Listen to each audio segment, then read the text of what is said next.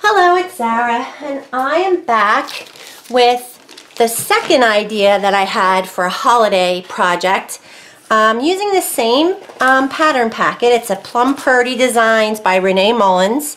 And I am going to, I wrote this down so that I will remember to put it in the description box. Somebody had um, commented that they, I don't know if it's still available. The date from this is 0608. So maybe it's out of print, but I think it's available.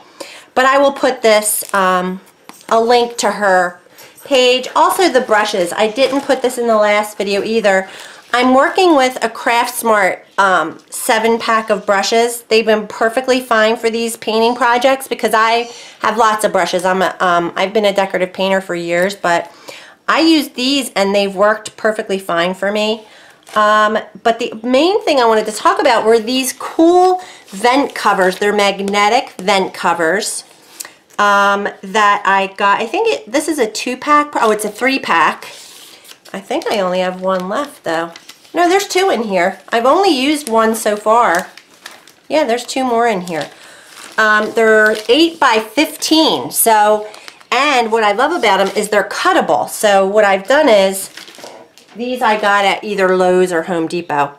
Um, Frost King All Season Vent Cover. So see, it's like a flexible plastic or something. But I cut these apart just into the size of these ornaments. Now, Renee actually uh, designed this piece to go on these wooden ornaments. And she generally has these pieces available in her online store, um, plumpurdy.com. So, but see, it's like a little wind chime, which is super cute for an ornament. I just didn't buy them, but I thought I can just trace the design onto this magnetic material, right? And then cut it out, out of, so here's one that I've already traced. So, oh, the other thing I wanted to mention, the, it's kind of a slick surface, so I did prep the surface with some um, all-purpose sealer. I have the Jo Sonja brand. There's other brands, but something that's going to give um, some tooth to it says uh, wood, tin, other plastic, other metals, glass, bisque, cards, paper, so that the paint adheres better to it because it is a slick surface. So I don't know if this, like this one's not prepped. This one is. I don't know if you can, yeah, see that? You can see the brush strokes on this one. This one's just a matte finish. The, stop hitting the, guys, Joe, call the dogs because they just bumped my tripod. I don't like it when they do that. So I just traced the pattern onto these and then you can cut it out. I just use my tonic scissors and it cuts just like butter. So I don't need to do this on camera. I'll just cut it out though. What the heck, I'm almost there. Um, but it makes such a cute little magnet. It's kind of like the stuff that, I don't know, I think my, um, my vet has these as his calling card, you know, so you can just stick it up on the fridge if you ever need to call them. Um, sometimes realtors have them that they make their calling cards out of, so um,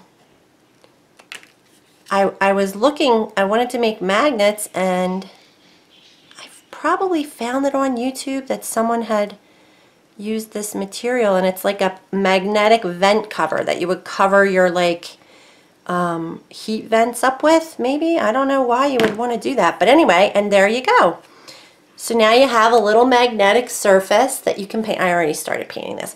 I have a couple of cat lovers in the family that I already did one of my lampshades with it with the little kitty cat on it. And then I'm just going to do a little, I did the, um, the cardinals, so this one's already done. And I just put my name on it. I don't always put the year, but it is nice when you do projects to put the year because then you can see how you've improved over the years. Um, sometimes for Christmas ones, I don't like to put the year because then I can give it the next year, the next year. Like if I didn't give it to anyone that year. Anyway, So all I'm going to share with you today is some of the finishing up on this one because I did, I figured I've done a painting tutorial lately. Um, I'm just going to share a little bit of floating, a little refresher of floating. I'm going to go around everything and um, just around the outside edge with some Payne's Gray just because I have that in my stash. I'm pretty sure this is Payne's Gray, yeah. And to float, I use an angle brush, I corner load, and then I blend it out on my palette paper, which this is like a, a, a glossy surface so that it, it slides. But a float is basically loading your brush in such a way that the color goes from dark to mid to light to middle or you know it graduates in color down until you get to water and you only want water on this side of the brush and that way you can um, create depth in your project and all I'm doing with this is just going around the outside edge so this is nothing major but it'll just give a little frame to the project and um, and then I'm gonna add a little bit of snow to um, the top. Sorry, I can't, I, I can do that. It's so meditative for me. I just love it. Um, I think I'm going to go, um, going to switch to my little bit smaller brush. So yeah, so that, that wasn't the brush that I used from the pack. Where is my one that I used from the pack? This one. There's a 3 8 inch angle brush in that pack that I mentioned. And it works just fine. So you're just corner loading you don't want too much water, just enough water.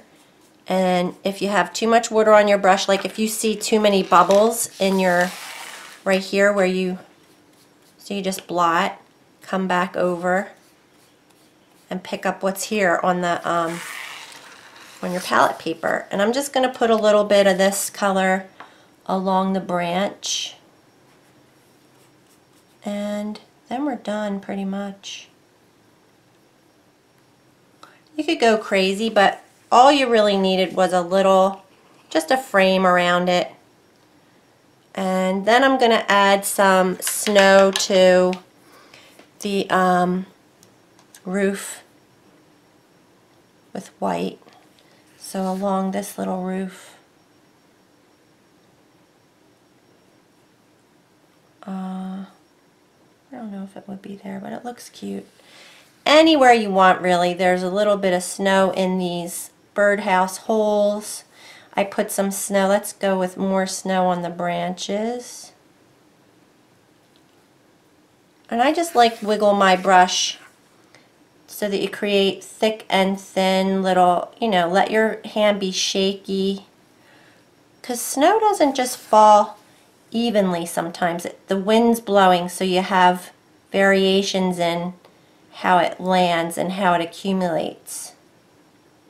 And then I already put some up along this little twig and that twig. You can put it wherever you want. Um, I mean, it might even be on his head. Her design doesn't have it anywhere else. And I think we're pretty much done after that. Just making a little more thick there. Um, pretty much. I think that's it. And if you wanted to, you could come in with the black pen like she had, like I had you do on here. I went around some things to um, just make them show up a little bit better. And then I did come in with some um, glitter and add that. So that's it. I just wanted to share, this was the other um, little project that I decided to do trying to find a clean paper to make it look spiffy. So anywho, these are super cute. I mean, you could put little snowflakes all around like I did on the cardinal as well. It might have stopped snowing in this one. But that's it. Alright, you guys. So that's just a quick video to show you um, another surface that you can use to create any type of little image that you want to put on there just words, whatever. You can use stamps, patterns, whatever you have, all right? the next thing I want to do is I, I'm going to do some alcohol ink. I went and got, um, I found another artist and I'm going to be watching lots of videos because I want to create these beautiful paintings that they do. So I got a few more colors. I got the palette from Tim Holtz and um, I'll be back. I'm going to watch a few more videos and then I'm going to play with you guys. Maybe I'll do a live and we'll play with alcohol ink. All right? So that's it. Thanks for watching.